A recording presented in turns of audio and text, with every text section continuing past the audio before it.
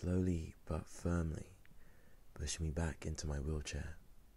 She parted her legs, knowing cunnilingus is my flair.